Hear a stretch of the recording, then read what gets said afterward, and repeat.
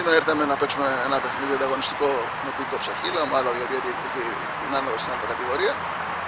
Ε, βρεθήκαμε σε, από πλευράς παιχτών ποσότητα παιχτών λίγο πίσω, γιατί είχαμε 5-6 τραυματισμούς ε, τις τελευταίες μέρες και μια τιμωρία με αποτέλεσμα να μην έχουμε και συμπλήρωμα 18 Το δεύτερο είναι ότι ήρθαν πάρα πολλά παιδιά το φυσικό που να συμπληρώσουν την ομάδα και τα παιδιά τα οποία παίξανε σήμερα τα παρακολουθήκαν στο καλύτερο δυνατό.